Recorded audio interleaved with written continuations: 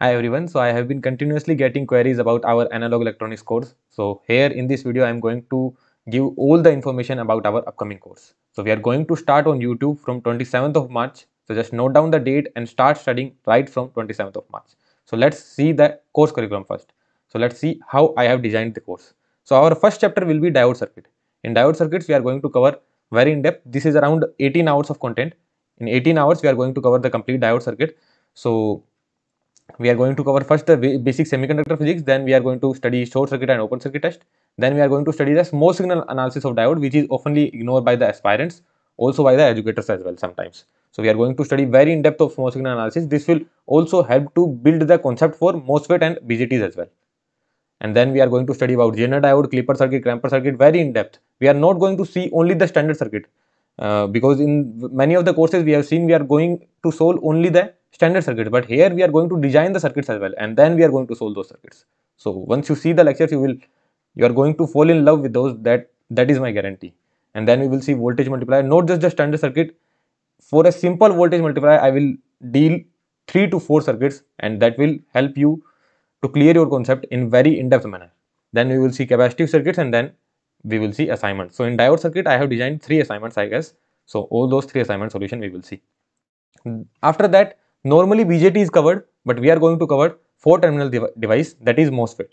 So first we will study MOS physics, then we will see biasing, why do we bias the MOSFET, what is the advantage of biasing, and then we will move to amplifiers. Then how from biasing to amplifier, how do we move there? Then we will study about common gate, common uh, source, common drain, and cascade, cascode, all type of current mirror, frequency response, feedback topology, differential amplifiers, everything we are going to cover. CMOS inverter is not in the gate syllabus, but it can be asked. It can certainly be asked and in the previous 3 to 4 years as well, some kind of question are asked from CMOS inverter. So it can be asked any day. So very in depth we will cover it on YouTube.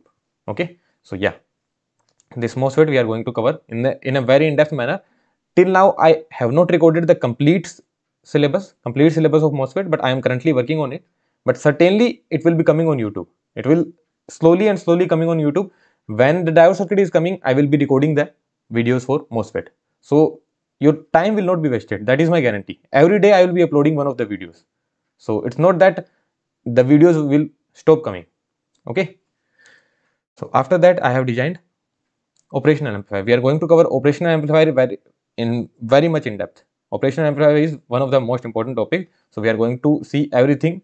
Uh, first we will see it as a black box. From differential amplifier we will pick the op-amp. So once we have designed the differential amplifier, then how from a differential amplifier op-amp is made. So once we have we are coming at the op-amp, then we will see op-amp as a black box.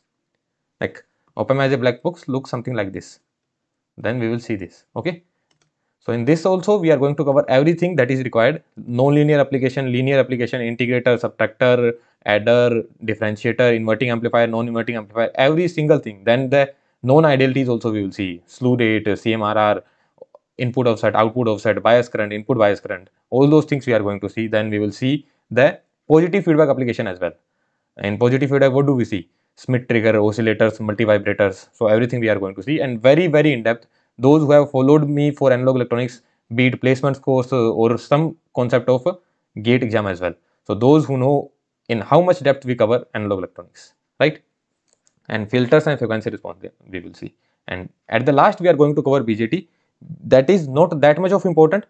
Why it is not that much of important? Because nowadays people are not focusing much on bjts bjts are used in high frequency circuits. If you are going to study rf and uh, all those branches you are going to use bjts there. So in high frequency circuit bjts are used but uh, gate mainly focuses on bjt physics and biasing. They ask question from biasing. Certainly they ask question from biasing. Saturation region linear region they ask question from biasing. So that we are going to cover in very detailed analysis. But rest of the things are same as MOSFET, but we are not going to cover in very in-depth analysis, but only the required content we will cover. Because there is very, very rare chance that they will ask question from BJTs in the examination or in the interview. So whatever that we are covering in MOSFET, like uh, uh, common gate, common, uh, like all kind of amplifiers we will cover. In case of BJTs, it will not be common gate, it will be like common emitter, common base, common collector. So those everything we are going to see but not very much in depth because these are not asked.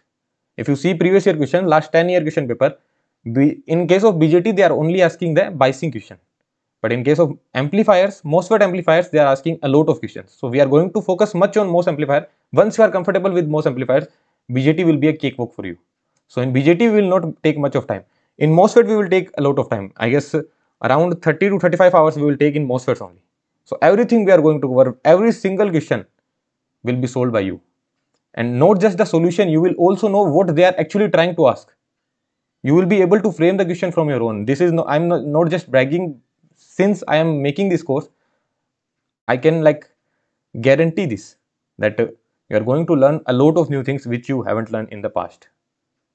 And those who have studied from me once be it in placement course they can write down in the comment section how the content is del delivered in those paid courses so then op-amp and then bjts so this is the flow of our course, right? Now, those who are watching me for the first time, those who don't even know how do I teach, why would they trust me, right? So you surely must be having some trust issues with me that uh, why should we follow you? So I have made a playlist on our on our Prep Fusion channel, Prep Fusion Gate. This is our channel, Prep Fusion Gate. So this is not the comprehensive course. These are some of the videos only. These are some videos only which I have made for, specifically for analog. In these videos, I have explained some of the concept like here I have uh, explained capacitive filters. Here I explained MOSFET amplifiers in very brief manner. Here I solved the op-amp question of GATE 124 which was solved by no one on YouTube and I guarantee no one is going to solve as well. Once you see the solution, you will realize that what kind of depth was required to solve this problem. Uh, you could mark the answer very quickly, but the complete solution requires very much in-depth analysis. So then you you will learn there. And even this GATE 124 question requires a very very much in-depth analysis. Then that also you can see. And you can also go in in the comment section because in the comment section also you will find out there will be many people who will be writing a lot of good things about this course right? So this is not the course. This is these are just some of the videos which you can watch. If you found them helpful if you found them intuitive if you find them like you are learning something new then you can certainly follow our course. Once you watch three to four videos of our course i am pretty sure you are not going to watch any other resources. That's pretty sure. Okay? Yeah. So yeah.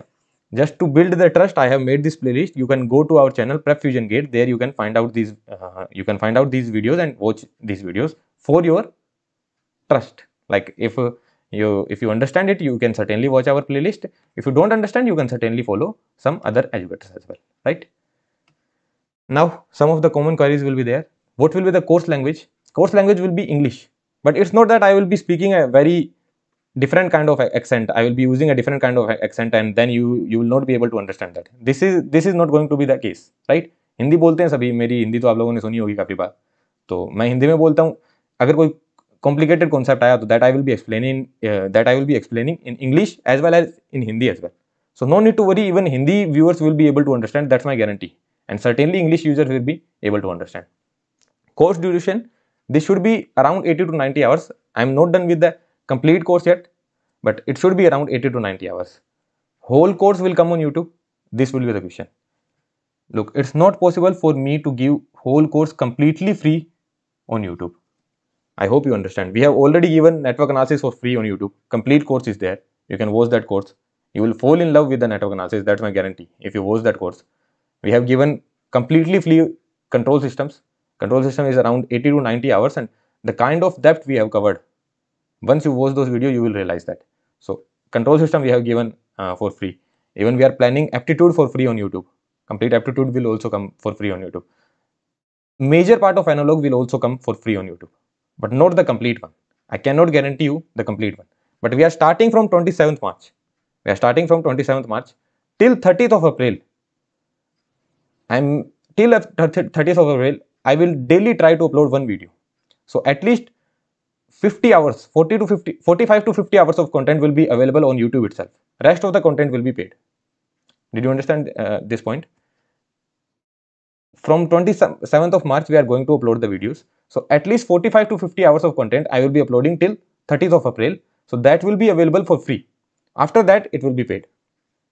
And the price will be very, very less. Like it will be very much affordable.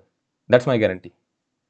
the price that we are going to uh, get uh, that we are going to demand for the whole course that will be very very less and in the whole course what you will get you are going to get uh, the complete course videos also you will get test series test series of each subject 2 to 3 test series of each, each subject. So nearly around 12 to 13 tests you will get in the paid course. Also you will get uh, live doubt solving that we will be coming live on google meet or zoom platform to solve your doubts if you are a paid student. Also you will get assignments.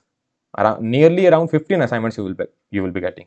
So everything that is required to master analog electronics that will be that you will be getting in the paid course but there is no announcement of paid course till now i am not announcing anything for the paid course paid course will be coming in i guess in may only so till then i will be uploading everything on youtube why i am not uh, why i am not launching the paid course right now only because i am not done with the syllabus yet i haven't made the complete videos i am currently in the MOSFET part only. I have recorded a few videos of operation amplifier as well. I have recorded a few videos of BJTs as well, but not the complete one.